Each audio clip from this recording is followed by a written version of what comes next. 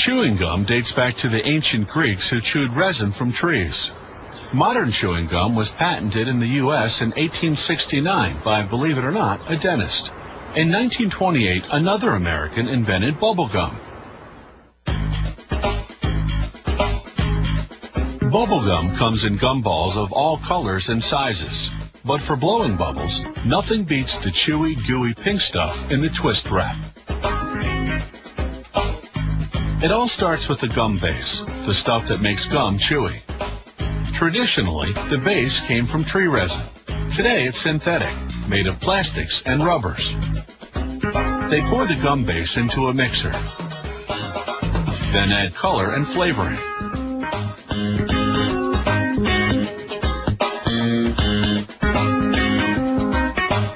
As it begins mixing, they pour in glucose syrup, a sweetener. Because it's liquid, it helps keep the gum base soft.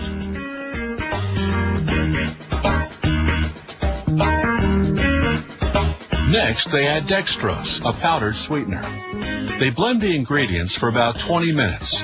The stirring action builds up heat, which melts everything together.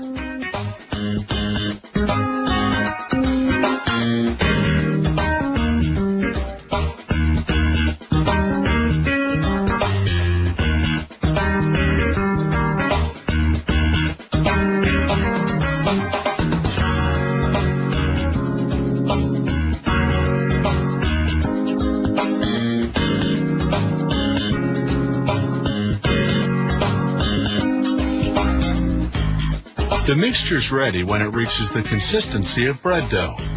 They transfer it by cart to a machine called the pre-extruder. The machine squeezes the mixture through a narrow opening, like squeezing toothpaste from the tube. This transforms the big bulky wad into thin manageable strips that can then go through the extruders.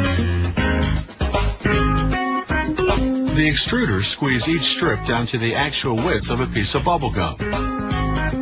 It comes out as one long continuous stream to be cut into bite-sized pieces later on.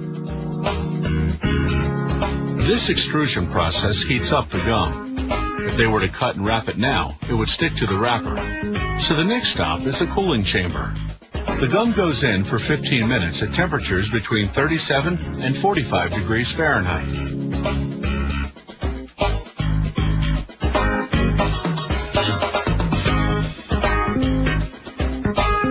When the bubble gum comes out, it's cooled down enough for what they call the cut and wrap. One machine does both jobs in a fraction of a second. Watch the action in slow motion.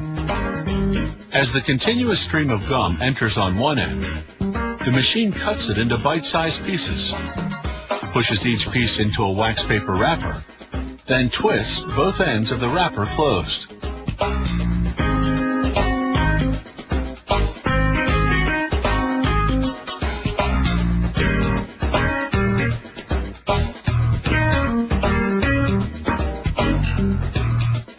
Here's the slow motion replay from a different angle.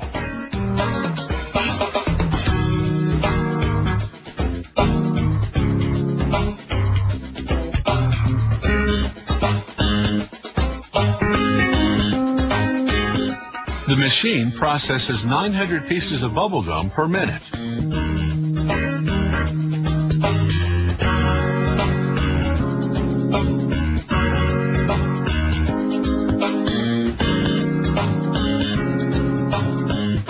Last stop, packaging.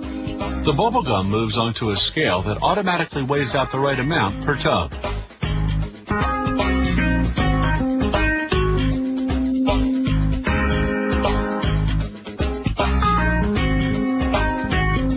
They seal the tub with plastic to make it airtight. This keeps the bubblegum fresh. Ever wonder why bubblegum is pink?